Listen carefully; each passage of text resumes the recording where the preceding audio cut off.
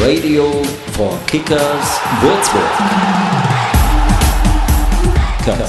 90 Minuten, ein Leben lang.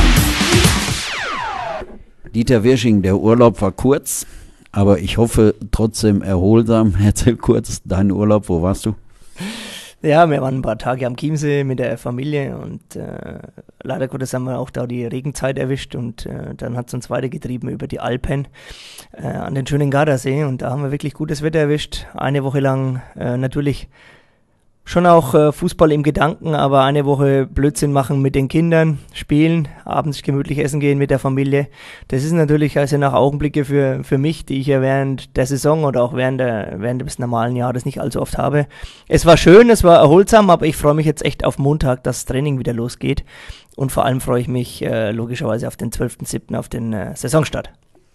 Das ist sicherlich richtig, aber bis dahin ist natürlich noch viel Arbeit Würzburger Kickers. Die erste Saison, darf man sagen, erfolgreich bestritten, wenn es auch äh, zwischendurch mal ein paar Ergebnisse gab, die dann nicht so erfreulich waren. Aber man kann alles in allem sagen, erfolgreich. Was wird sich ändern? Also erstmal vielen Dank für die Glückwünsche. Ich gebe dir in der Tat recht, dass wir eine tolle Saison gespielt haben. Wir waren Doppelaufsteiger. Ich denke, für alle waren wir einer der Abstiegskandidaten Nummer eins. Wir sind nie in die gefährliche Zone bekommen. Aber die Saison hat eben auch gezeigt, wo äh, der Schuh drückt, im wahrsten Sinne des Wortes. Diese Erkenntnisse haben wir natürlich ähm, analysiert, aufgenommen und äh, werden versuchen, ab Montag, dann vor allem auch ab dem ersten Saisonspiel uns noch besser, konzeptionell und als Mannschaft noch intensiver und noch stärker aufzustellen. Und äh, so haben wir dann eben auch unsere Neuzugänge ausgewählt, einige Spiele eben auch abgegeben und äh, da erwarte ich mir schon nochmal einen Impuls, damit wir die Leistung, die wir letztes Jahr gebracht haben, schon nochmal verbessern können. Der Trainer Dieter Wirsching hat seinen Lehrgang sehr, sehr gut abgeschnitten, steht natürlich immer unter Dauerstress. Äh, normal geht man in der Regionalliga jetzt her mit Blick nach oben und sagt, okay, ich höre jetzt auf zu arbeiten und mache nur noch den Trainer. Ihr habt äh, zusätzlich nochmal einen weiteren Co-Trainer verpflichtet. Mhm das heißt also, soll sich äh, da äh, vom Konzept, von der Ausrichtung auch ein bisschen was ändern? Ja klar, das ist äh, der erste Schritt in die, in die richtige Richtung, um sich einfach etwas professioneller aufzustellen. Wir haben jetzt dann mit Lamin CC und auch mit dem von dir angesprochenen Manuel Endres äh, zwei wirklich aktive Co-Trainer mit im Team. Manuel hat vor allem auch äh, früher Stürmer gespielt, ist Offensivspieler Lamin. Wer ihn kennt, äh, ist jetzt auch schon ein paar Jahre bei uns bei den Kickers, der, der den Defensivbereich. Ich soll dann beide Puzzleteile zusammensetzen. Wir haben im weiteren Trainerteam natürlich mit dem Frank Gollwitz einen ausgezeichneten Torwarttrainer. Wir haben mit dem äh, Guckenberger, mit dem Cookie einen guten Fitnesscoach. Wir haben äh, mit dem Dominik Ruh einen sehr guten Analysetrainer, der uns äh, die Gegner äh, auseinander legt und uns äh, gut vorbereitet für die Spiele. Also schon ein intensives Team, wir haben uns da entwickelt. Ähm, zu meiner Position ist klar, also ich habe hier viel zu tun und wir sitzen jetzt ja schon ein paar, ein paar Stunden auch hier jetzt zusammen oder einige Zeit, du kriegst es ja auch mit. Dementsprechend natürlich, äh, jeder, der mich unterstützen kann und da genießt jetzt neu der Manuel Endres natürlich mein volles Vertrauen, äh, ist herzlich willkommen. Es ist, wie gesagt, ein Schritt in die richtige Richtung und dann wollen wir gucken, dass wir uns da weiterentwickeln. Wie es mit meinem B-Schein weitergeht, ich, wir haben jetzt die Lizenz ohne die Auflage bekommen, dass ich meinen B-Schein äh, zeitnah äh, abarbeiten müsste. Und jetzt gucken wir einfach mal. Äh, wir wollen gut in die Saison starten, wollen eine gute Vorbereitung hinlegen und dann denke ich, wird sich das Ganze äh, eins nach dem anderen peu à peu auch ergeben. Natürlich gibt es auch einige Abgänge bei den äh, Würzburger Kickers, einige Spieler, die verabschiedet werden. Abgang Sebastian Sonnenberger. Leider, leider muss natürlich auch äh, verkraftet werden. Zwei, drei Worte von deiner Seite aus zu den Abgängen in diesem Jahr. Ja, wir haben ja letztes Jahr durch den Doppelaufstieg natürlich auch erstmal für die Bayernliga geplant. Durch die Relegation sind wir in die Regionalliga und dann 28 Spieler unter Vertrag. Und dementsprechend haben uns äh, ja im Winter schon ein, zwei Spieler verlassen. Ähm, und äh, auch jetzt zur Saison äh, wird uns der ein oder andere komplett verlassen, der ein oder andere geht runter zu den Amateuren. Und du sagst es, mit Sebastian Sonnenberger tun wir natürlich schon äh, einen sehr wichtigen Spieler verlieren. Aber das ist auch Teil äh, der Kickers, das ist auch Teil unseres, unseres, unserer Daseinsberechtigung auf der Fußballlandkarte Deutschland.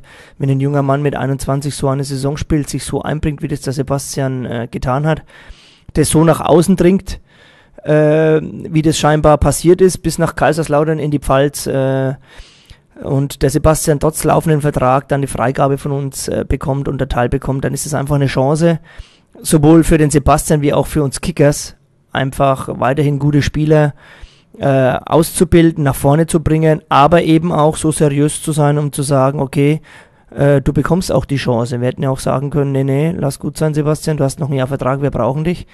Aber so arrogant und so frech sind wir eben noch nicht, äh, noch nicht ganz so gefestigt. Und dementsprechend wünsche ich dem Sebastian natürlich alles Gute, bedanke mich auf dem Weg auch nochmal wirklich für sein Engagement, für seinen Einsatz. Er war mit Herz und Leidenschaft dabei. Und äh, sollte er es nicht schaffen, bis in die zweite oder erste Liga, also direkt zu den Profis durchzustarten, dann ist er bei uns natürlich immer herzlich willkommen und ich denke, das weiß der Sebastian und so haben wir dann auch die Verhandlungen geführt.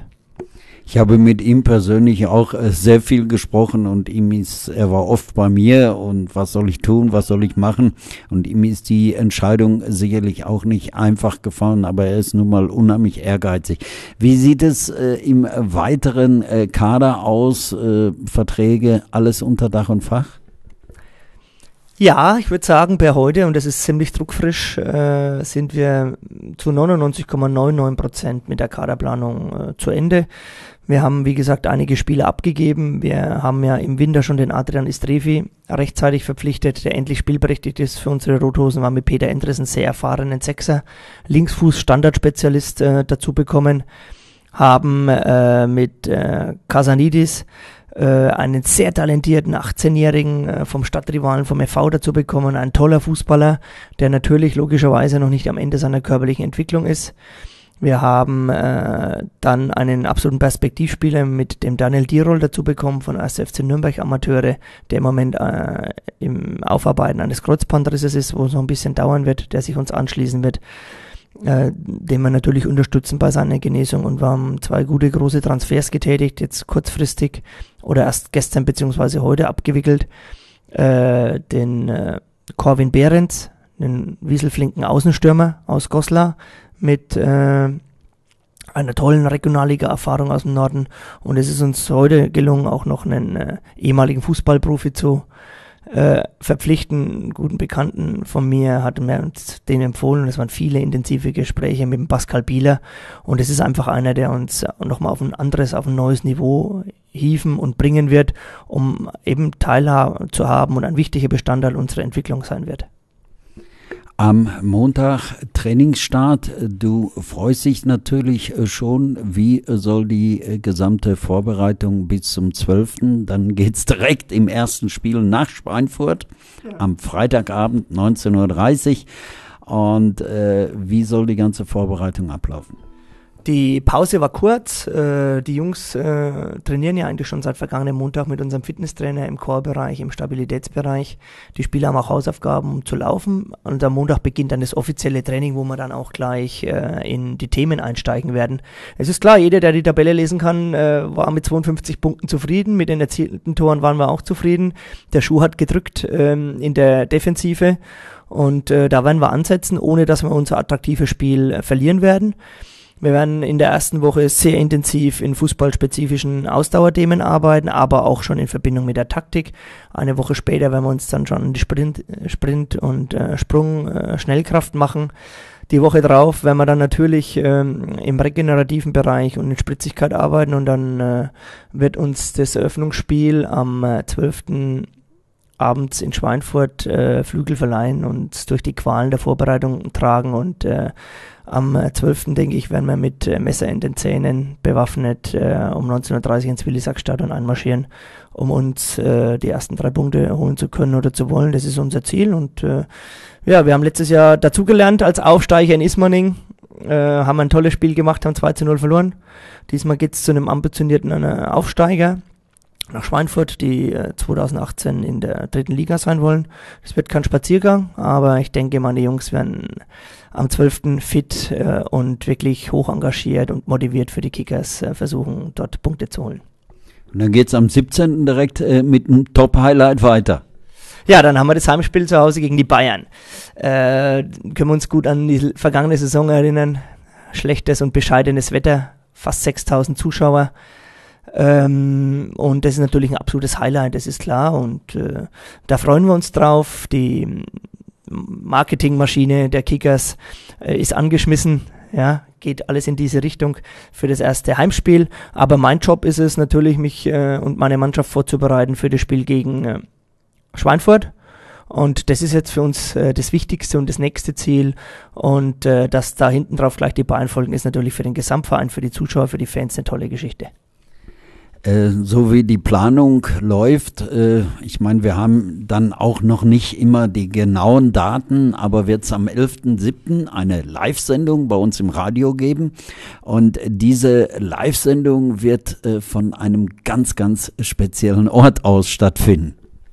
Ja, also noch hängt der Termin ein bisschen, aber es wird äh, in der Eichhornstraße in Würzburg äh, einen Fanstore geben, für die Würzburg Kickers und auch äh, mit weiteren Mannschaften wie die S. Oliver Baskets, wie die Rimpa Wölfe, FC Bayern, Borussia Dortmund, DFB, also all die Vereine, die durch unseren Sponsor, die Firma Fly Alarm, eben auch im Sportsponsoring-Bereich unterstützt wird.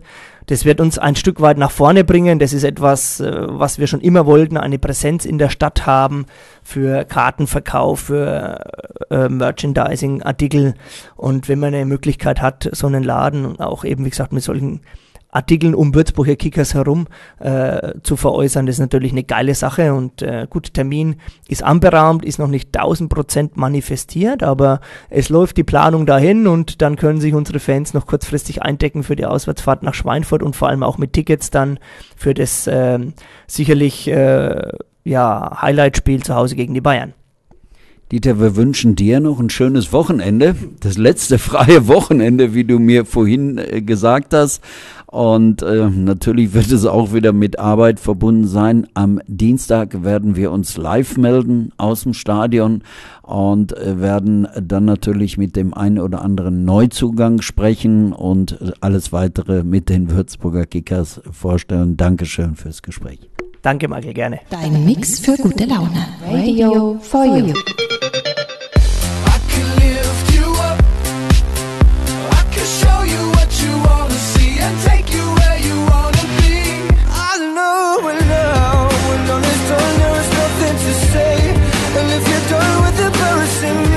Radio for you.